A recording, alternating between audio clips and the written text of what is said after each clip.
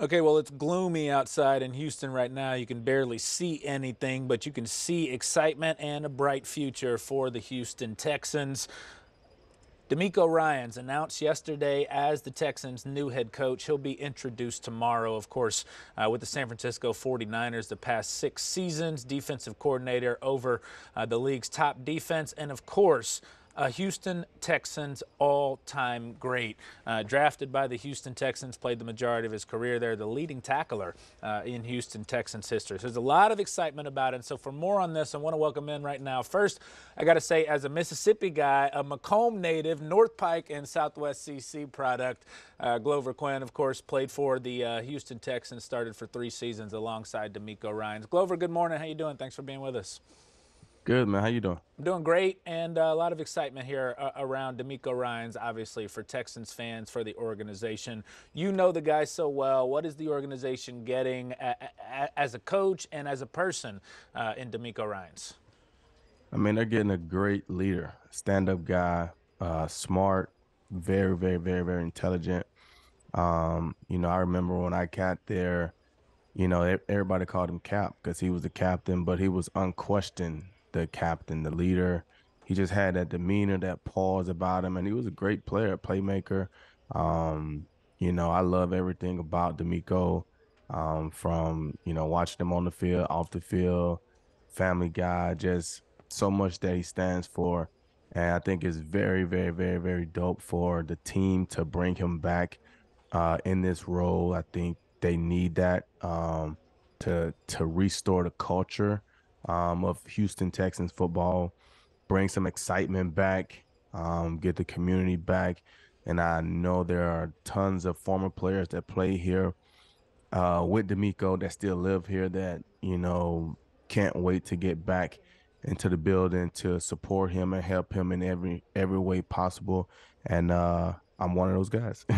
Glover, can you talk a little bit more about that? Like how it's important, why it's important that DeMeco played for Houston, that he won here. I mean, you see coaches have plenty of success in the NFL where they had no connection to the franchise at all. Why, why does that matter if it does with DeMeco in Houston? Well, I think, like you said, it's a connection. You know, the Texans were the team that drafted DeMeco. Um, gave him an opportunity to, to, you know, live out his dream as being an NFL football player. Um, he played here for some years and did a lot of great things in here. Obviously, established himself as a great football player in the NFL. Uh, went on and played some more, and then now he's getting to come back. Um, but the reputation that he had on the field, the reputation that he had in the community, the people that he touched, the lives that he changed off the field, has everyone excited and believing that he is someone that can change the culture and get it back to you know 2011 2012 when the texans were winning a division and was respected in that in an afc you know south division. So i'm excited for DeMeco i know the community excited. I've been seeing so much stuff on social media. Um, it's going to be awesome and i can't wait let me ask you this a, a little more uh, significant conversation in some ways. There, there's obviously a huge conversation uh, around the NFL about uh, coaching opportunities for black coaches, and Houston has now had four consecutive black coaches if you go back to Romeo Crennel in the interim. And yet there are a lot who posit, some on this network. I saw Stephen A. Smith say it earlier this week, uh, that black coaches, I mean, have all only had one year. When you look at uh, Lovie Smith previously, David Culley, is that fair? How do you see it? And, and sort of where uh, DeMeco Ryans fits into that in terms of being given a fair chance to succeed? I think he's going to be given more than a year. I, I think that those other two coaches, like we talked about, I don't know if they had a connection here. I don't know if they connected well with the players, being older guys.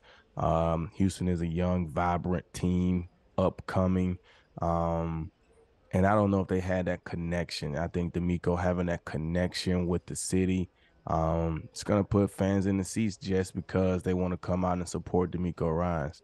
The product that he's gonna put on the field, you know, him and, and the GM, uh, Nick Caserio is gonna have to, you know, rebuild his roster. Um, it's gonna start with a with a high draft pick coming up in this year's draft. Be interesting to see what they do in free agency and how they start to build this roster and how they assess what they have already.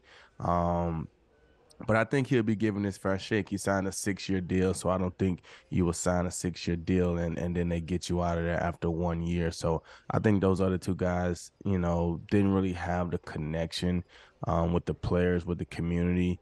Um, and I think it's just going to be different for the Texans with DeMeco, just having, you know, the former players to be excited to be back around in the building, um, you know, promoting the team throughout the city, the excitement in the city is going to be at an all-time high. I feel like coming up this year, um, and like I said, with them having a high draft pick, it's going to be exciting to see who they take early in the draft and just how everything unfolds and leading up into the off-season program and OTAs and training camp. It's going to be super exciting, and they just have to come out and be prepared to to play and play at a high level. You look at that uh, draft coming up, number two pick, all signs pointing towards the Texans taking a quarterback. Glover, can DeMeco win in Houston without getting it totally right at the quarterback position? Do, how important is it that they hit and get that guy for the franchise?